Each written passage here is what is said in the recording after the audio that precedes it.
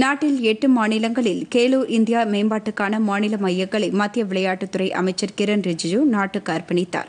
Khelo India மேம்பாட்டுக்கான மாநில மையங்கள் மணிப்பூர் அருணாச்சல பிரதேசம் மிசோரம் கேரளா தெலுங்கானா கர்நாடகா நாகாலாந்து மற்றும் ஒடிசா ஆகிய மாநிலங்களில் அமைக்கப்பட்டுள்ளது. இதனை காணொலி வாயிலாக தொடங்கி வைத்து பேசிய அமைச்சர் இரண்டாயிரத்து இருபத்தி எட்டாம் ஆண்டு நடைபெறவுள்ள ஒலிம்பிக் போட்டியில் முதல் பத்து இடங்கள் பட்டியலில் இந்தியா இடம்பெற வேண்டும் என்பதே நமது இலக்காக உள்ளது என்று கூறினார். இந்த தொடக்க விழாவில் கர்நாடக மாநில முதலமைச்சர் எடியூரப்பா மற்றும் அந்தந்த மாநில விளையாட்டுத்துறை அமைச்சர்கள் செயலாளர்கள் கலந்து கொண்டனர்.